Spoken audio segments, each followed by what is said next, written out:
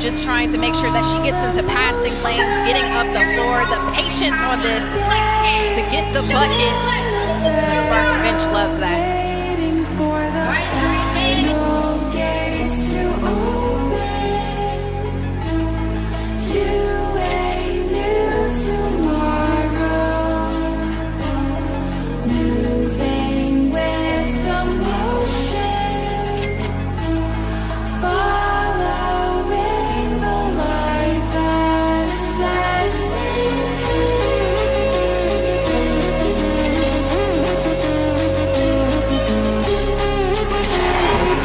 Talk about Rickea Jackson being that rookie for the Sparks, but they also have some other really good talent on this team, Dallas Wings. If they want to have a shot to win, they have to move the ball from side to side, share the basketball.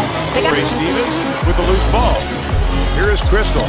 Jackson left open. McCowan slow to get down. And almost 10 rebounds a game. The problem for the Wings right now, Cheryl, six turnovers, only one assist. Yeah, you, you, especially against a team like the Sparks, when you know they love to get out and push the ball in transition. 17 free throws made to become number one in Dallas Wings history, beating Skylar Diggins Smith. Rickea Jackson hits another three. Five at 14. I mean, if, if you don't get out on her, she's proven she can shoot it. Well, Tuesday versus New York, Dallas allowed New York go four of nine in the opening quarter from three. Then they shut them down pretty much the rest of the way. Jackson off the glass. Again, Dallas trailed by 13. Jackson stays perfect. Three rebounds from Erica.